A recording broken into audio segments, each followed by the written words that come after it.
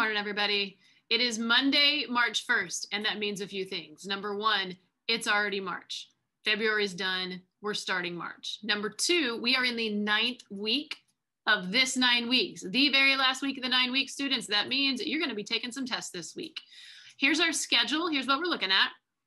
So Monday is going to be middle school taking science.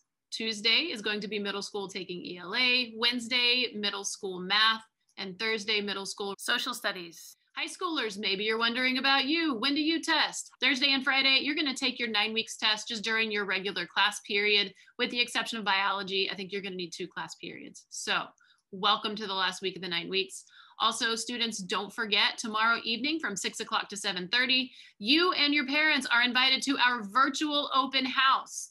You can't come back into the building, but your teachers are gonna send you special open house Zoom links that way your families can see your teachers again and you can see your teachers outside of class. All right, we have a few more announcements, then we'll get to birthdays, pledges, and creed. Everybody, welcome back. Hope you have a great Monday. Hope you have a great week.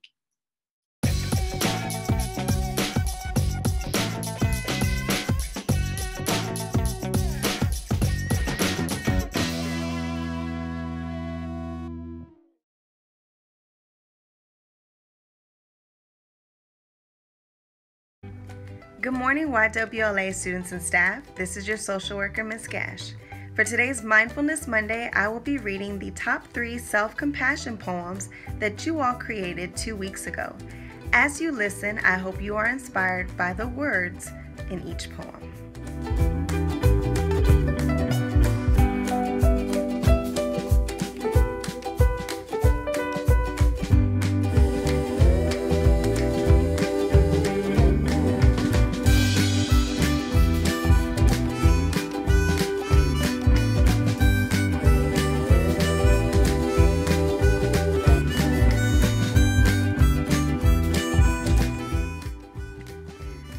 Sometimes life is tough, but know that you are enough.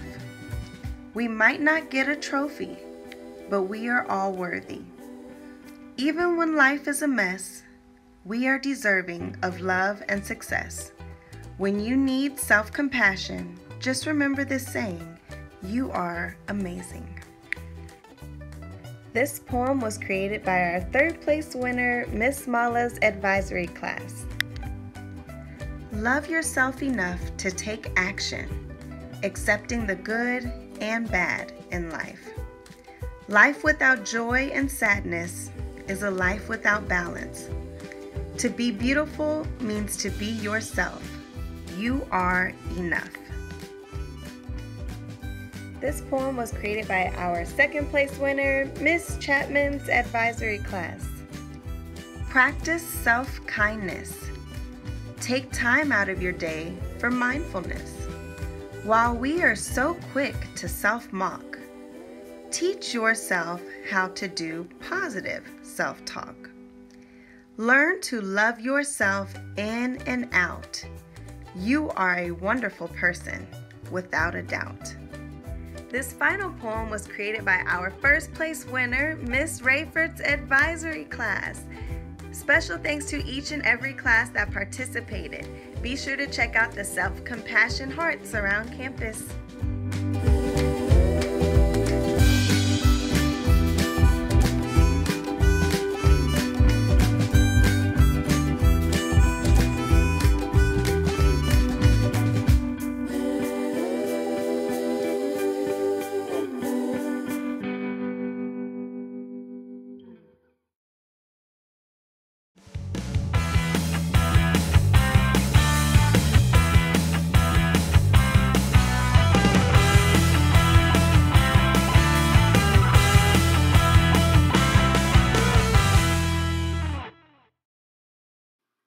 Now it's time for the pledges and our creed.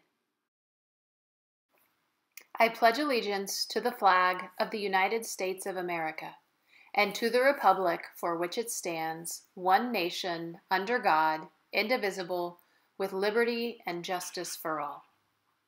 Honor the Texas flag. I pledge allegiance to thee, Texas, one state under God, one and indivisible.